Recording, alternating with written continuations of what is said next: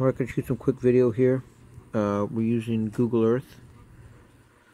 And we're looking at. What you're going to put the search for is Desert Research Experimental Station, comma, Utah. And then you'll get, uh, it'll bring you up to this map here.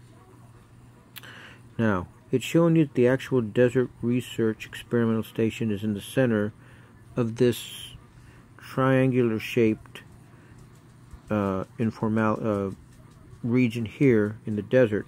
Actually, that is not the Desert Research Experimental Station, but that is probably the entrance to the underground cavern where the crash ship is. Supposedly a UFO crashed here in the 50s. I think it was either, if I'm correct, it was 1953. Now, the actual address, here's the funny thing. You come over to the road over here. Let's go ahead and remove this a little bit. Come over here. There's a, there's a road.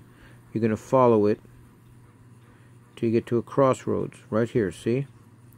Now you're going to keep going to the left and keep following it and you're going to see this little section that's going to branch up here and it's going to take you to the actual Desert Research Experimental Station.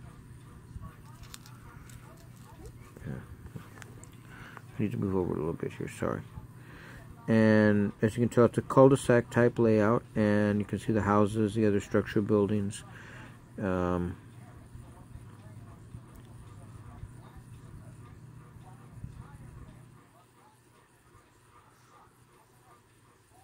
not the best detail, but uh, a very dark tiled roof specifically for the reasons they will not show up with a lot of detail from the sky. This station was, uh, uh, was established during the 30s to do experimental research. If I'm correct, it was during the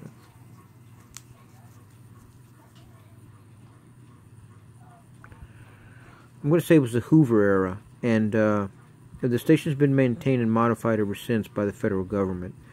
Um, there's a very excellent documentary on it where Linda Moulton Howe went and uh, investigated the entire area. Uh, the building structures are the, the older structures are still in place, but they they've replaced all the doors with brand new doors, framing. Uh, some of the siding's been redone, uh, brand new doors with locks.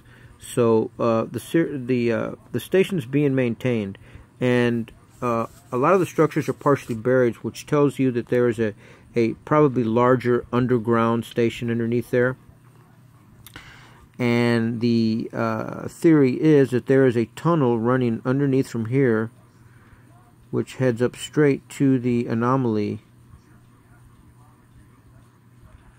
over here, where the actual crash ship is.